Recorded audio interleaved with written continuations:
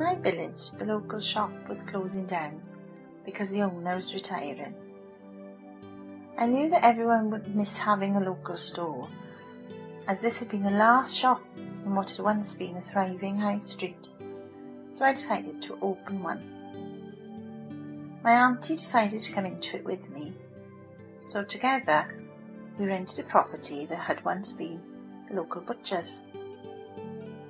It was a typical village stores sold a bit of everything, from sweets to vegetables, meats to washing powders.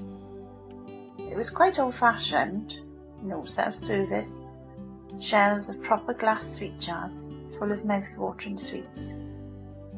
We had a proper cheese cutter, and our cooked meats were always carved by hand. tasted much better like that, so our customers used to say. You'd get to know who liked it sliced thinly and who preferred it thick cut. There was always a chair for our customers to sit on while we collected together all that was on their shopping list.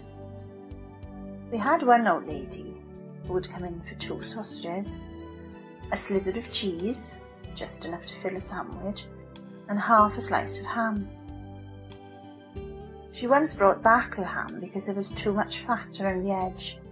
She asked us to cut it off and wait again, which we did, as the customer's always right.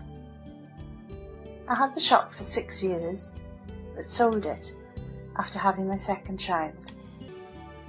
It's no longer there since the supermarket opened close by. We always had lots of elderly customers who we delivered to every week. I wonder where they do their shopping now.